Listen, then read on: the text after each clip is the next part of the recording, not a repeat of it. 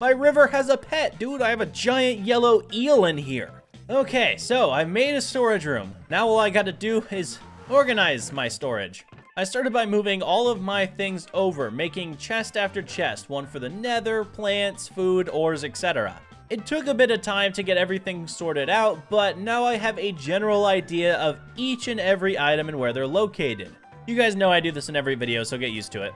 At this point, I'm totally convinced that my brain was running out of ideas because days 84 through 86 my plan was just to get looting. You wanna know why I wanted looting? I wanted a looting 3 sword because soon I'm gonna go to the end and I need shulker boxes. So I went back to tree farming or how I like to call deforestation so I could get XP for the sword. I went through my villager hall and counted up which enchants I have. I've got sharpness, unbreaking, mending, I need looting, and I need fire, technically.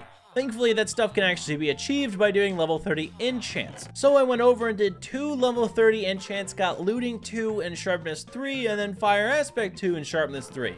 Kind of exactly what I needed. But like I said, looting 3 is the goal, so I made another lectern and it was time to reroll. Looting 2 or Sweeping Edge 3 would be really nice. I finally got Looting 2 and locked it in. Bought some mending books and breaking books from the trading hall, combined it all up, and now I have a... Oh, nope, shocker, ran out of XP again.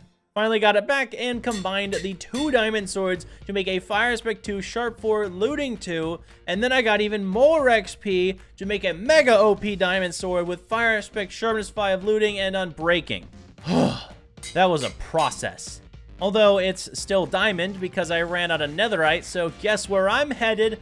That's right, hell I strip mine for some ancient debris, return to the overworld, and boom! Now I have another netherite bar, making the sword netherite. That's right.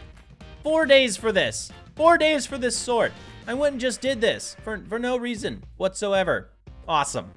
I guess technically I can't save for nothing, because on day 88, it was finally time to get all the stuff that I needed to go to the end.